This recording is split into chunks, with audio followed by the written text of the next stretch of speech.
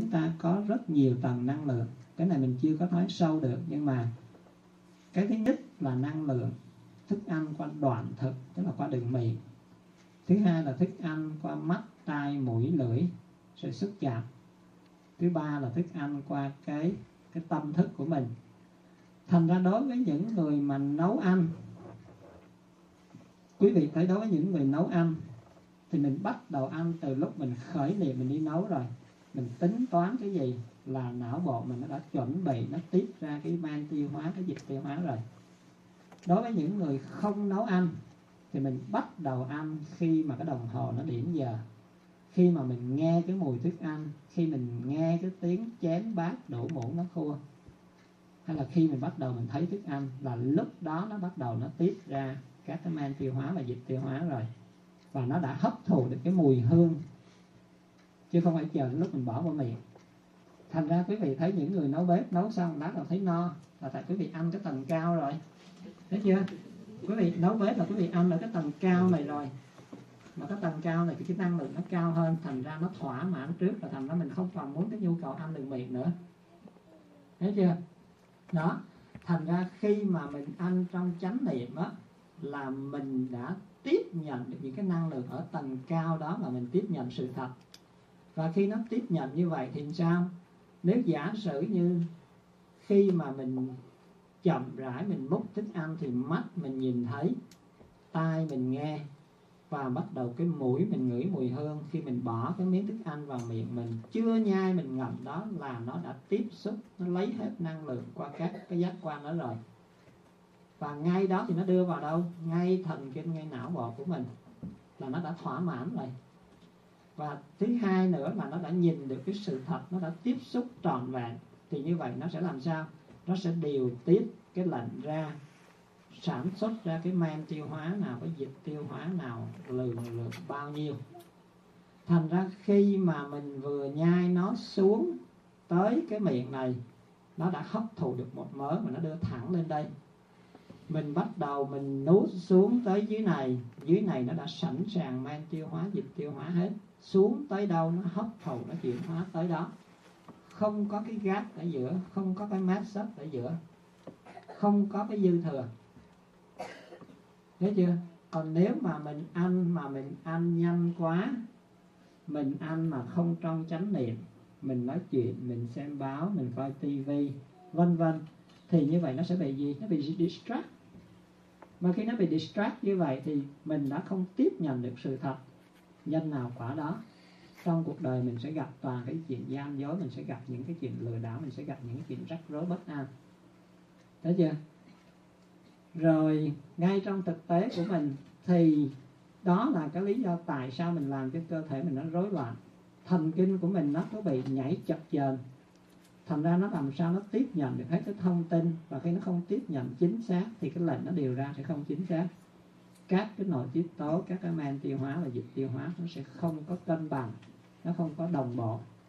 Thì từ đó nó sẽ làm rối loạn nội tiết tố rối loạn các cơ quan chức năng của mình. Chứ không có gì cả. Thấy chưa? Đó. Thì cái đó là cái lý do tại sao chúng ta phải ăn chậm ăn trong chánh niệm. Và khi quý vị nhai cho chậm thì quý vị biết rằng trong cái chế độ ăn của mình đó ha, trong cái chế độ ăn của mình, chủ yếu là gì? Chủ yếu là tinh bột. Cái chế độ ăn, cái này mai mốt mình sẽ nói tới cái này nữa. Mình chưa có đủ thời gian.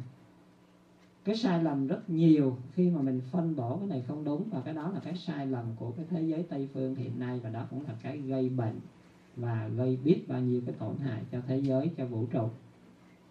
Nhưng mà chung quy lại, đúng là mình trong chế độ ăn của mình chủ yếu phải là tinh bột, tối thiểu phải là 2 phần ba là tinh bột. Mà tinh bột nó chỉ được phân hủy và hấp thụ ở đâu?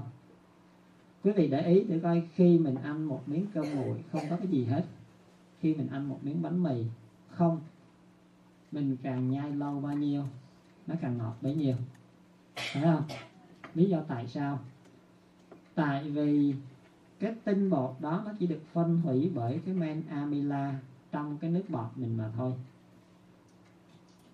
Cái men amila đó nó chỉ có trong nước bọt mình mà thôi. Thành ra khi mình càng nhai chậm bao nhiêu, nhai kỹ bao nhiêu, thì nước bọt mình nó tiết ra nhiều bấy nhiêu và cái men đó nó ra nhiều bấy nhiêu. Nó sẽ phân hủy hết tất cả những carbon hydrate đó thành ra cái chất đường.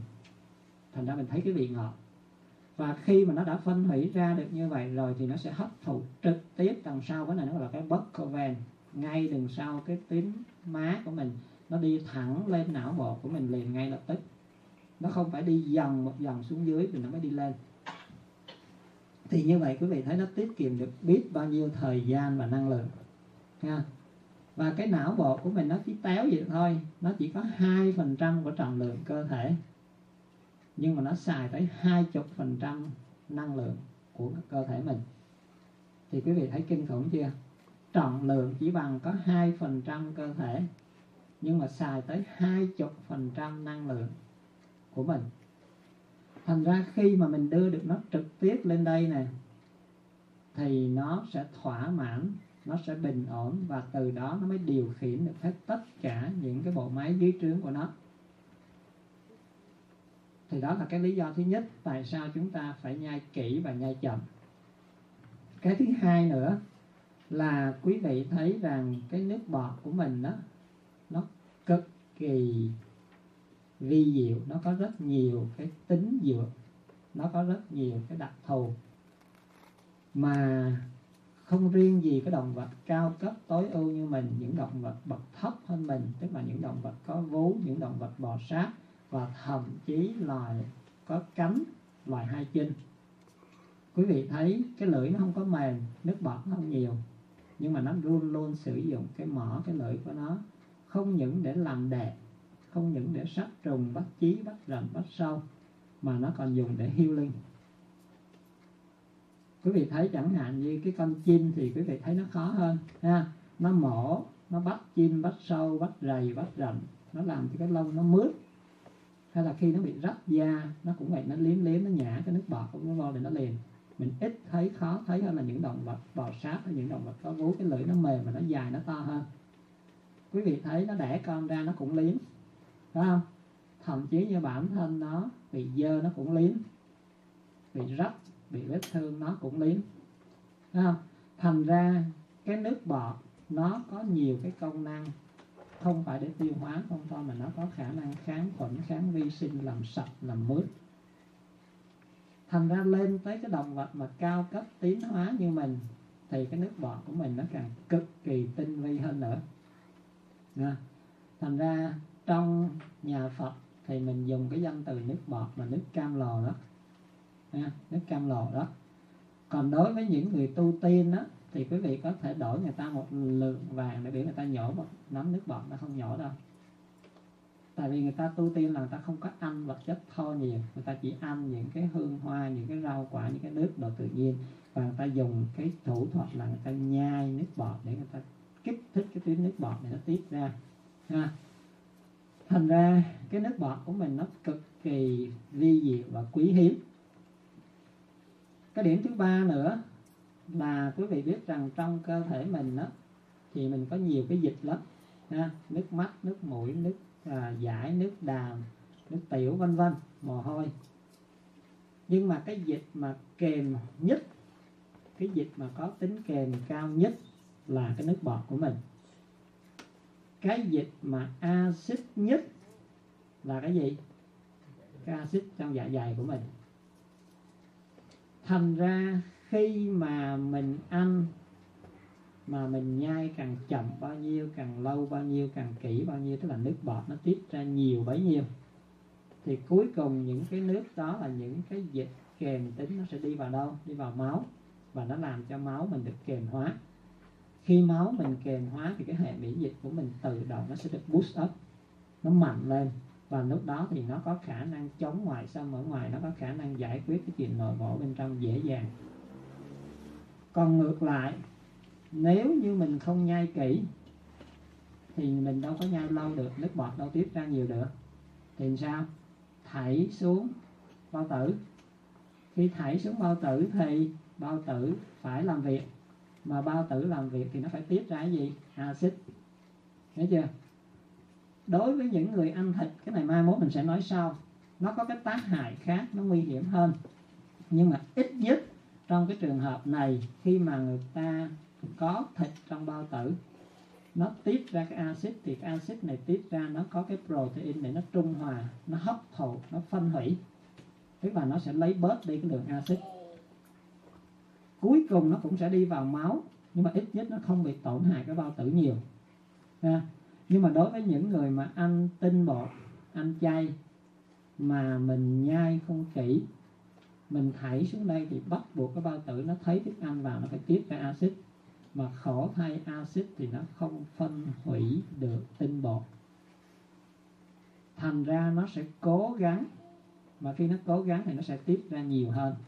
Mà khi nó tiết ra nhiều hơn như vậy mà nó không có cái gì để nó hấp thụ, nó trung hòa hết, thì lúc đó nó sẽ làm tổn thương cái bao tử, cái niêm mạc bao tử của mình. Đó là lý do tại sao mà những người ăn chay mà không khéo có khi bị đau bao tử cũng khá nhiều nha rồi sau đó thì sao? Sau đó thì những cái dịch axit này cuối cùng thì nó cũng sẽ đi vào trong máu của mình. Và khi nó đi vào máu của mình thì nó làm cho cái máu của mình nó bị axit hóa. Và khi máu mình bị axit hóa thì ngay lập tức cái hệ miễn dịch của mình nó bị suppress liền ngay lập tức. Thì khi nó bị suppress như vậy thì dĩ nhiên quân ngoài sân ở ngoài tấn công nó không thể đỡ đã đành. Ngay cả những cái anh chàng ở bên trong này, nó cũng không chống đỡ nổi thành ra mình mới bị cái bệnh opportunistic disease, tức là những cái bệnh cơ hội. Ha. Thành ra quý vị thấy đó là lý do tại sao mà ngày nay chúng ta bị những cái bệnh tào lao, những cái bệnh nó cứ kéo dài dài dài dài, và tại vì cái hệ miễn dịch mình nó suy sụp quá. Và những cái thuốc mà quý vị thấy người ta claim rằng trị bá bệnh, những cái thuốc trị ung thư, những cái thuốc trị bệnh kim niên này kia, thật ra nó chẳng có làm cái gì cả nó chỉ giúp để clean up cái body của mình và boost up cái immune system thôi. Ha? Khi cái hệ miễn dịch của mình mạnh rồi thì nó có khả năng làm hết tất cả mọi chuyện. Nhưng mà khi nó suy sụp rồi thì nó không có khả năng chống bên ngoài, nó cũng chẳng có khả năng giải quyết bên trong. Đó, thì đó là mình thấy chỉ nội cái vấn đề mà mình ăn, mình nhai khác nhau thôi, là nó đã hoàn toàn khác nhau cũng một cái thức ăn đó mà cái nghệ thuật ăn khác nhau là nó đã hoàn toàn khác nhau rồi. Cái điểm kế tiếp là quý vị thấy rằng khi mà mình ngồi, mình ăn, mình nhai cho thịt kỹ như vậy, thì những cái cơ má của mình nó có khoảng, mỗi bên nó có khoảng 380 cái cơ trong vùng mặt và vùng môi của mình. Và quý vị thường nghe cái câu người ta nói một nụ cười bằng 10 thang thuốc bổ. Phải không? Thì như vậy, thật ra trên mặt của mình, cái bộ phận mà nó nhạy bé nhất là cái vùng môi xung quanh của mình. Phải không? Cái vùng môi của mình nó rất nhạy bén. Cái thứ hai là cái cái mặt của mình, cái má của mình. Thành ra khi mà mình cười hay là khi mình nhai, nó sẽ kích thích cái vùng cơ ở đây. Nó làm cho mình được thư giãn, được nhẹ nhàng, được được, nó gọi là hưng phấn thành ra nó làm cho cái tiến trình lão hóa nó chậm lại. Thành ra khi mà mình cười được có mấy phút thôi không được mấy phút nó chỉ được mấy giây thôi. Còn khi mình nhai một bữa cơm bao nhiêu? Tối thiểu là nửa tiếng đến 45 phút. Trưa nay quý vị làm như ma nổi gì đó. Có im lặng nhưng mà ăn nhanh quá quá thành ra nó một phản mất tác dụng, nha. Tương lai là mình có những quý vị biết những cái khóa tu bên châu âu á. Những cái khóa tu châu âu á, thì xin lỗi các không? Không phải gọi là thọ trai, ha, mà phải gọi là ngọ trai. Tại vì không có thọ. Tức là những cái khóa tu bên đó, những cái khóa tu thanh lập nửa tiếng đồng hồ là tối thiểu. Chúng tôi chỉ được nhai ba ngụm nước chứ không phải là nhai ba cái chén cơm nghe. Nhai ba ngụm nước mà nửa tiếng đồng hồ quý vị. Tức là trong những cái khóa tu thanh lập và tu tập đó, tức là tối thiểu là một tuần lễ, thì tới cái giờ trưa đó, mỗi người một ly nước. Và chỉ có ba ngụm nước, nửa tiếng đồng hồ, tức là mỗi một ngụm nước nhai 10 phút. Tức là tối thiểu phải 500 đến 600 lần thì quý vị sẽ thấy cái sự an lạc và tĩnh tại của nó và cái tác dụng của nó sâu thẳm đến mức độ nào.